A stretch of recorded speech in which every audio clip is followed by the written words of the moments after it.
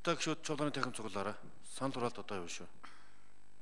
Гişүүд чуулганы танхим цуглаарай. Эрүүгийн хуульд нэмэлт өөрчлөлт оруулах тухай, эрүүгийн хэрэг хянан шийдвэрлэх тухай хуульд нэмэлт өөрчлөлт оруулах тухай, зөрчлийн тухай хуульд нэмэлт өөрчлөлт оруулах тухай, зөрчил шалган шийдвэрлэх тухай хуульд нэмэлт өөрчлөлт оруулах тухай, шүүхийн шийдвэр гүйцэтгэх тухай хуульд нэмэлт өөрчлөлт оруулах тухай, хуулийн төсөл болон холбогдох бусад хуулийн төслийн анхны хилцүүлгийг явуулсан талаарх хууль зүйн байнгын хорооны санал дүгнэлт Улсын их хурлын дарга эрхэм гишүүдээ Монгол Улсын засгийн газраас 2017 оны 9-р сарын 17-ны өдөр Улсын их хурлд өргөн мэдүүлсэн эрүүгийн хуульд нэмэлт өөрчлөлт оруулах тухай, эрүүгийн хэрэг хянан шийдвэрлэх тухай хуульд нэмэлт өөрчлөлт оруулах тухай, зөрчлийн тухай хуульд нэмэлт өөрчлөлт оруулах тухай, зөрчил шалган шийдвэрлэх тухай хуульд нэмэлт өөрчлөлт оруулах тухай, шүүхийн шийдвэр гүйцэтгэх тухай хуульд нэмэлт өөрчлөлт оруулах тухай, хуулийн төсөл болон холбогдох бусад хуульд нэмэлт өөрчлөлт оруулах тухай хуулийн төслүүдийн хилцэх асуудлыг Улсын хурл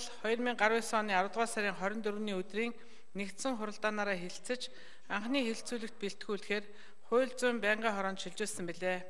Хууль зүйн байнгын хорооны 2019 оны 8 дугаар тогтоолоор дээр хуулийн төслүүдийг Улсын хурлын чуулганы нэгдсэн хуралдаанаар хэлэлцүүлэх, бэлтгэл ажлыг хангах, санал дүгнэлтийн төсөл боловсруулах үүрэг бүхий ажлын хэсгийг байгуулж ажлын хэсгийг Одлын хэсгийн ахлагчаар улсын хурлын гишүүн Ил Гамболд бүрэлдэхүүнд нь улсын хурлын гишүүн О Баасанхүү, Хэн Ямбаатар, Ил Инхволд, Ис Эрдэнэ болон холбогдох бусад албан тушаалтнууд орж ажиллалаа.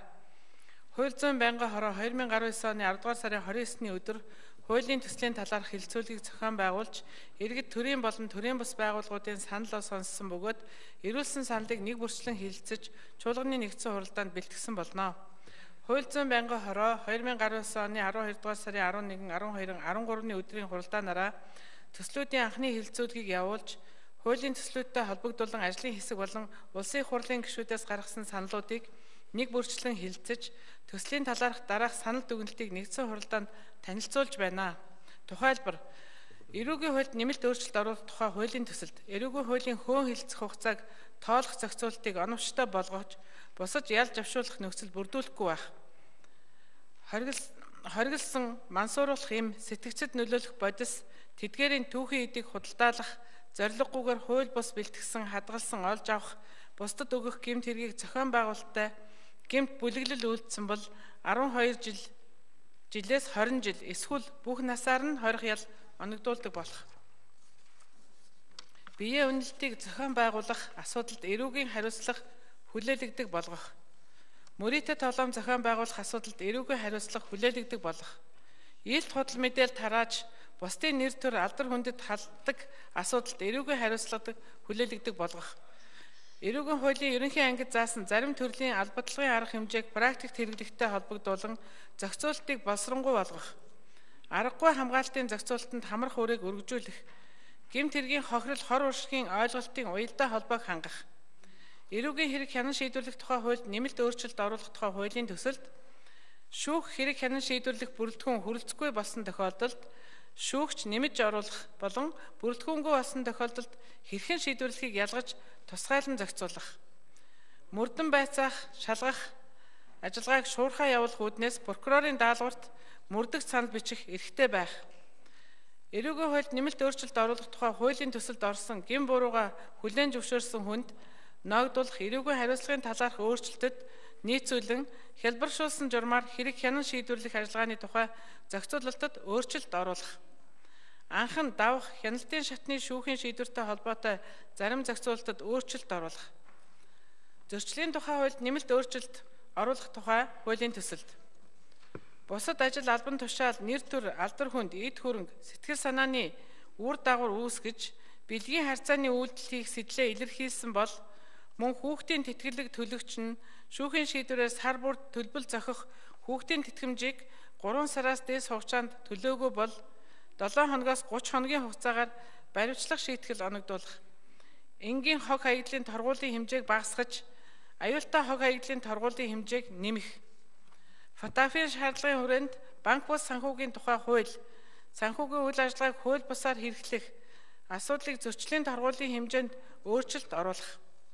Мал амьтны эрүүл мэндийн тухай, малын генетик нөөцийн тухай хууль шинээр батлагдсантай холбогдуулан холбогдох зөрчлийг тусгах. Хүүхдийн эрхийг зөрчих асуудлыг ирээгүй хууль, зөрчлийн тухай хууль болон салбар хуулиудтай зохицуулалтаа уялдуулан уялдуулах хариуцлагыг нэмэгдүүлэх.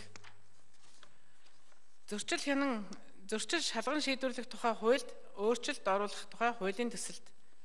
Хуулийн 1-8 дугаар зүйлийн 6 дахь хэсэгт заасан эрх бүхий албан тушаалтан шүүхийн зөрчил шалган шийдвэрлэх харьяаллын давхардал хийдлийг арилгах.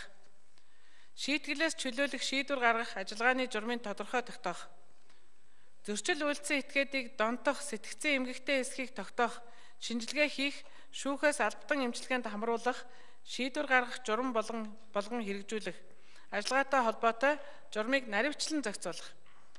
Ирэх бүхий албан тушаалтан зөрчлийг шалгах ажиллагааг шуурхаа хэрэгжүүлэх зорилгоор холбогдогчийг дуудан ирүүлэх, зөрчлийн хэргийг нэгтгэх, тусгаарлах журмыг зохицуулах. Зөрчлийн тухай хуульд нэмэлт өөрчлөлт оруулах тухай хуулийн төслийн зарим зүйлд заалт өөрчлөгсөнтэй холбоотойгоор зөрчлийн харьяалан шийдвэрлэх эрх бүхий албан тушаалтны харьяаллыг өөрчлөх. Шүүхэн шийдвэр гүйцэтгэх тухай хуульд нэмэлт өөрчлөлт оруулах тухай хуулийн төсөлд Төлбөр төлөгчийн гадаадд зарчих эрхийг дүтгэлзүүлэх журам үндслэлийг тодорхой болгох.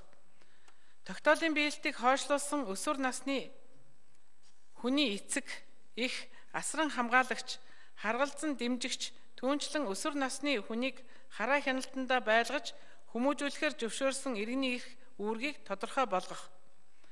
Хорих анги энэ хоригдлыг хорих ялаас хугацаанаас өмнө суллаж хяналт тогтоосон сүүгчийн захирамжийг хүлээн авснаас хойш 7 хоногийн дотор хоригдлын зам байдал засварл хүмүүжлийн талаарх тодорхойлтыг түүний оршин суух газрын шүүхийн шийдвэр гүйцэтгэх газар хилтэст хөргүүлдэг байх зэрэг шүүхийн шийдвэр гүйцэтгэх тухай хуулийн хэрэгжилтийг нэг мөр хангах зэрэг болно. Хуулийн төслийг хилцэх явцад Улсын их хурлын гишүүн Ж Ганбаатар зөрчлийн тухай хуулийн хамрах хүрээ зорилгыг дахин харж зөрчил үйлдэхээс урьдчилан сэргийлдэг, сануулдаг байх зохицуулт оруулах саналыг хэлсэн бол Улсын их хурлын гишүүн Б Пүрүдорж малын удмын санг хамгаалахтай холбогдсон зөрчлийн талаар асуулт тавьж хариулт авсан хариулт авсан болно. Байнгын хорооны хуралдаанаар хуулийн төслүүдийн анхны хилцүүлгийг явуулах талаарх байнгын хорооны санал дүгнэлт болон зарчмын зөрүүтэй саналуудыг нэгтгэм томьёолж та бүхэнд тараасан болно. Улсын хурлын эрхэм гишүүдээ эрүүгийн хуульд нэмэлт өөрчлөлт оруулах тухай, эрүүгийн хэрэг хянан шийдвэрлэх тухай хуульд нэмэлт өөрчлөлт оруулах тухай Зөрчлийн тухай хуульд нэмэлт өөрчлөлт оруулах тухай, зөрчил шалган шийдвэрлэх тухай хуульд нэмэлт өөрчлөлт оруулах тухай, шүүхийн шийдвэр гүйцэтгэх тухай хуульд нэмэлт өөрчлөлт оруулах тухай, хуулийн төслүүд болон холбогдох бусад хуулийн төслүүдийн анхны хэлэлцүүлгийг явуулсан талаарх хууль зүйн байнгын хорооны санал дүгнэлт болон зарчмын зөрүүтэй саналын томьёолыг хилцэн шийдвэрлэж өгөхийг та бүхнээс хүсье. Анхаарал тавьсанд баярлалаа.